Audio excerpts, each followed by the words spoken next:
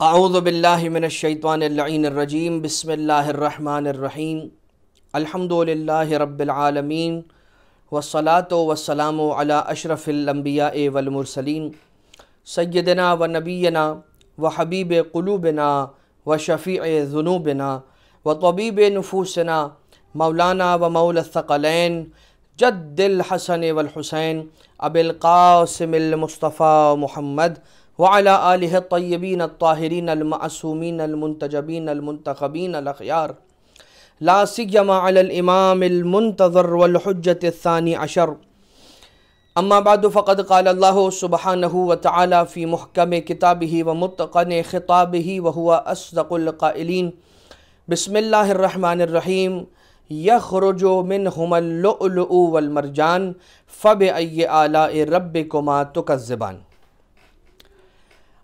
अजान मोहतरम, रोज़ विलादत बासादत, हज़रत सिबत अकबर रसूल खुदा, इमाम हसन मुशतबा सलाम है। और इस मुबारक दिन की, और इस बड़े खुशी के दिन की मुबारकबाद को पेश करेंगे, हदिया तहनीत को पेश करेंगे। हमारे और आपके ज़माने के इमाम अज्जल्ला फ़रजह शरीफ की खिदमत में बिलखसूस और बिलूम तमाम ही मोमिन की खिदमत में मौला इमाम हसन मुशतबा की विलादत की मुबारकबाद को पेश करेंगे।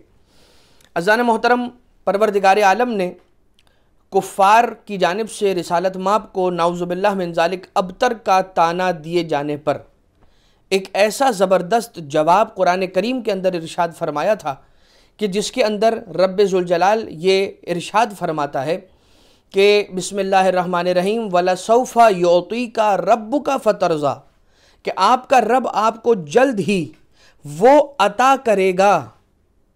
योती का आपको अता करेगा, फ़तरज़ा, और बस आप राज़ी हो जाएँगे।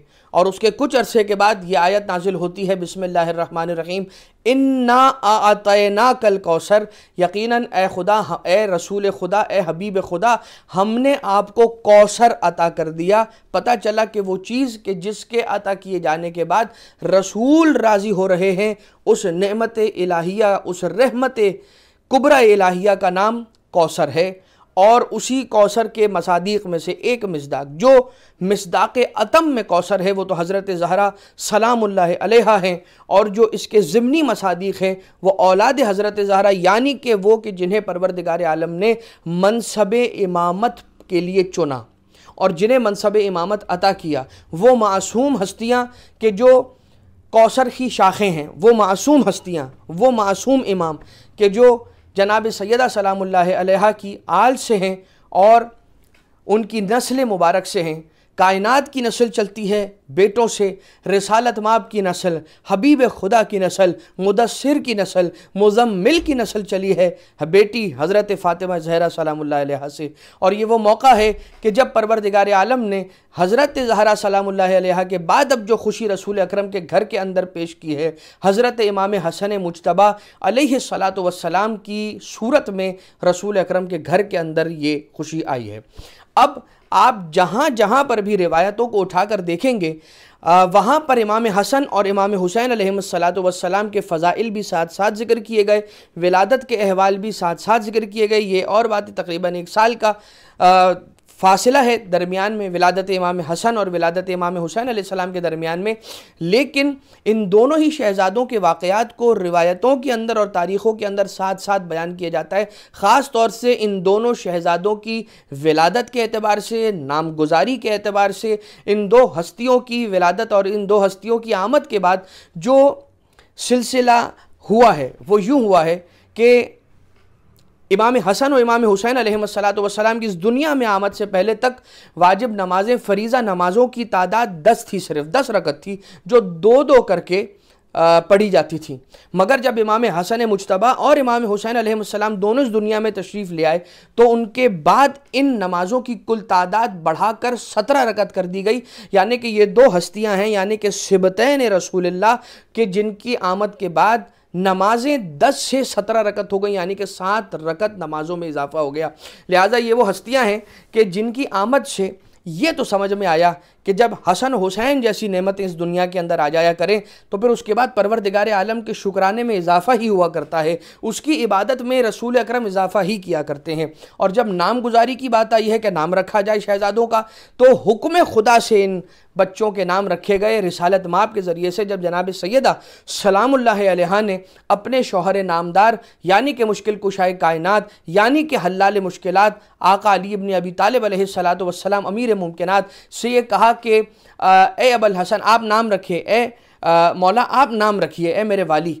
तो मौला अमीर सलाम ने कहा कि ये कैसे हो सकता है कि रसूल मौजूद हो और उनकी मौजूदगी में मैं अपने बेटे का नाम रखने में सबकत कर जाऊँ। लिहाजा जब रिसालत माप की तरफ़ ये बात आई तो रिसालत माप ने कहा कि ये कैसे हो सकता है कि अली, तुम मुझ पर सबकत न करो तो मैं खुदा पर कैसे सबकत कर सकता हूँ? लिहाजा इस बच्चे का नाम हुक्म खुदा से करार पाएगा, जो भी करार पाएगा।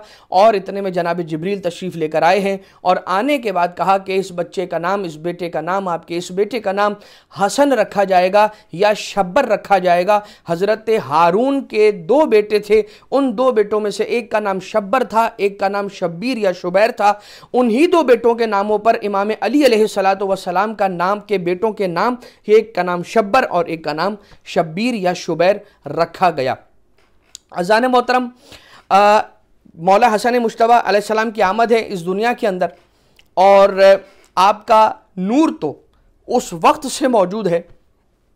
कि जब से परवरदिगार आलम ने अपने नूर कुदरत से रिसालत माप के नूर को खल किया और आपके, यानी रिसालत माप सल्लल्लाहु अलैहि वसल्लम के नूर अनवर से दीगर आयमा अथार वसलाम के अनवार को खल किया गया। लेकिन अजान मोहतरम जब परवरदिगार आलम ने जन्नत को सजाने की बात की है तो वहाँ पर ये रिवायत मिलती है, बिहार के अंदर मिलती है कि रिवायत कि जब परवरदिगार आलम ने अपनी जन्नत को तमाम जीनतों के ज़रिए से सजा लिया तो उसके बाद दो नूर के मंबरों को परवरदिगार आलम ने मुहैया किया, नाजिल किया और एक नूर के मंबर को, कि जिसकी मसाफत सौ मील की मिलती है रिवायतों के अतबार से, कि एक नूर का मंबर कि जिसकी मसाफत सौ मील की है, उसे एक जानब रखा, यानी कि अर्श के दाएँ जानब रखा और दूसरे मेंबर, दूसरे नूर के मेंबर को अर्श के बाएँ जानब रखा। और इन दोनों नूर के मेंबरों पर एक एक शहजादे को, यानी शहजादा हसन और शहजादा हुसैन वसलाम को लाकर बिठाया गया।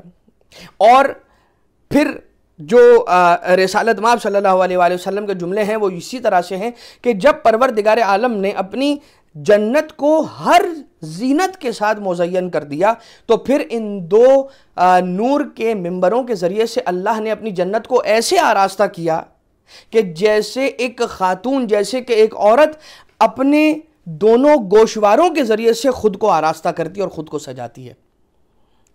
अब यहाँ पर एक बात और, कि ये दो शहजादे हैं।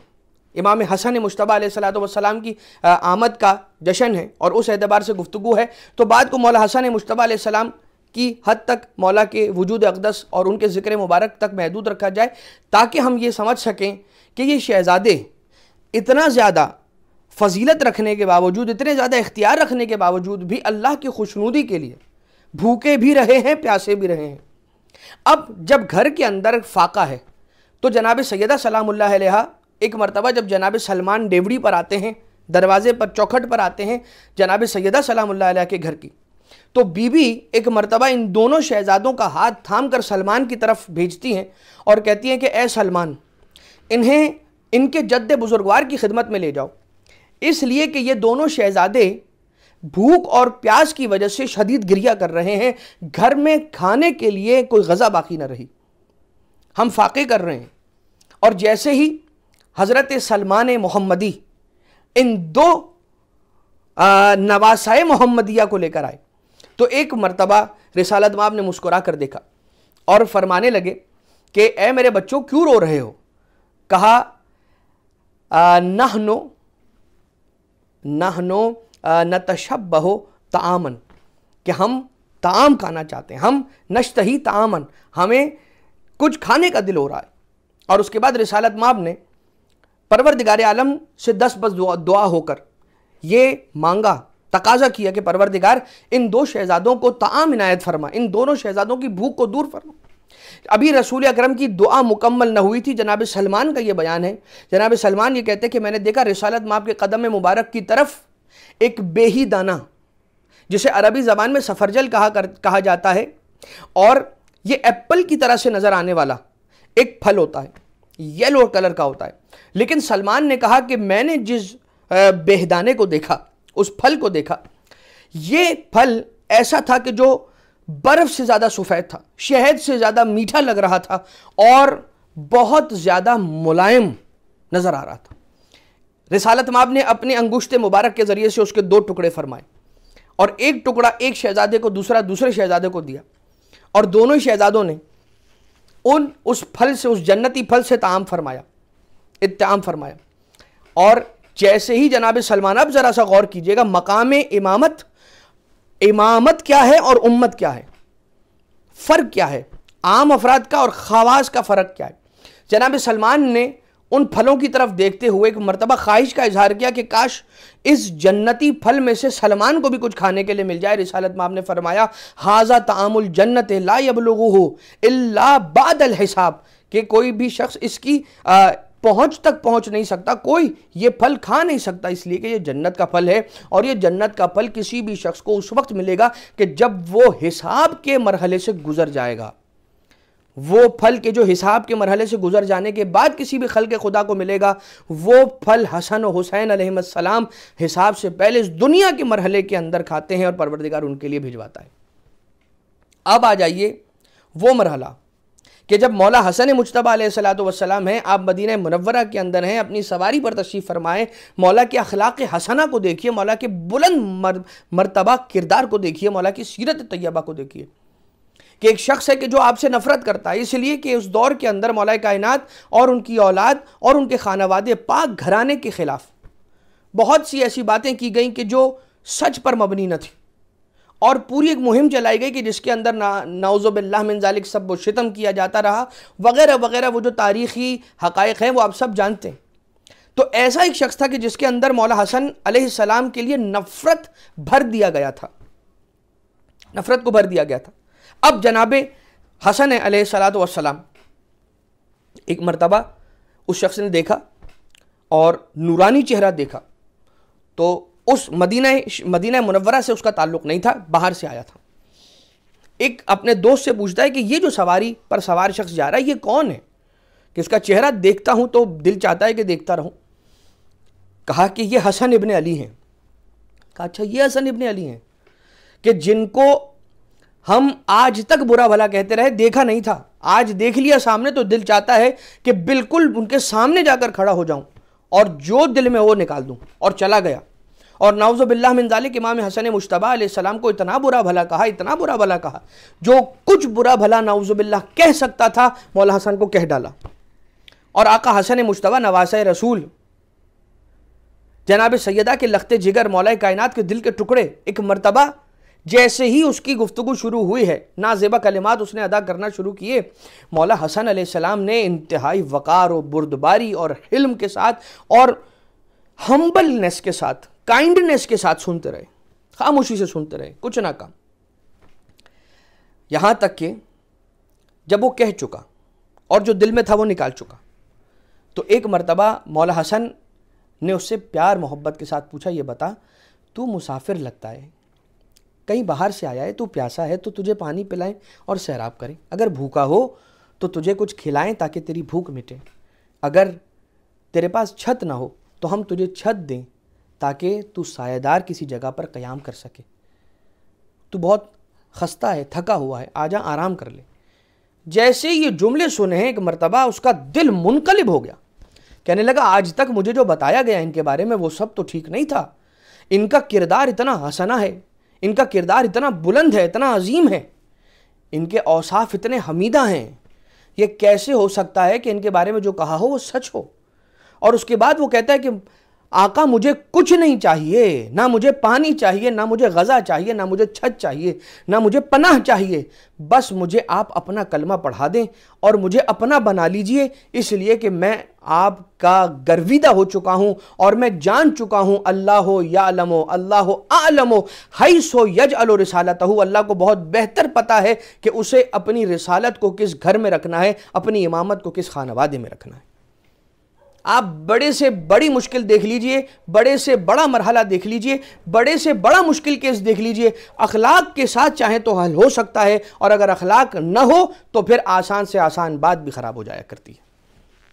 लिहाजा ये बात हमेशा याद रखें कि आयम अथार वसलाम वो वाक़ कि जो आपको यकीनन याद होगा कि जिस वाक़े के अंदर यूँ हुआ था कि इमाम हसन मुशतबा हैं, इमाम हुसैन शहीद करबला हैं। एक बुज़ुर्ग शख्स को वज़ू करते हुए देखा कि जिसके वज़ू में खलल था और जिसके बाद फिर इमाम हसन, इमाम हुसैन सलाम अपना निज़ा लेकर गए हैं उस बुज़ुर्ग के पास। और ये तो नहीं कह सकते थे कि आपका वज़ू ठीक करना चाहते हैं। ये कहने लगे कि हम दोनों में निज़ा हो गया है, प्लीज़ फैसला कर दीजिए। बरए मेहरबानी फैसला कर दीजिए कि हम दोनों में से किसका वज़ू दुरुस्त है। और जब देखा शहजादों के वज़ू को तो एक मरतबा समझ गया। कि वज़ू अगर गलत है तो मेरा गलत है इन शहजादों का वज़ू गलत कैसे हो सकता है कि ये नवासा रसूल हैं? और अजीज़ान मोहतरम मौला हसन मुशतबा सलाम दुश्मन ने एक मरतबा दुश्मन रहता मदीना में नहीं है मदीना ख़ास आया है नाउजुबिल्ला इमाम हसन मुशतबा सलाम को शर्मंदा करने के लिए शर्मिंदा करने के लिए। और जिसे अल्लाह ताला इज़्ज़त इनायत फरमाए वो कभी किसी के आ, तजलील के ज़रिए से डरता नहीं है। नाउजुबिल्ला मंजालिक इस्तेजा किसी के मज़ाक से, किसी के मज़ाक उड़ाए जाने से, किसी की परवाह न करने से नहीं कभी घबराता। तो जानता है कि तमाम तर इज़्ज़तें परवरदिगार के आल परवरदिगार आलम के हाथ में है। एक मरतबा।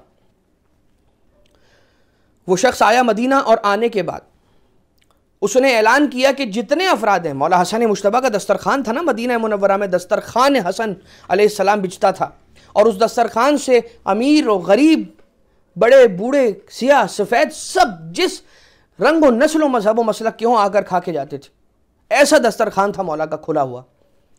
तो दुश्मन को अच्छा ना लगा और वो अपना वतन छोड़कर आया मदीना और अपने फ़जाइल को ज़ाहिर करने के लिए कहता है कि आज जितने भी अहले मदीना हैं मेरे पास आए और उनके लिए मैंने कुछ तोहफे तहफ़ रखे देने के लिए।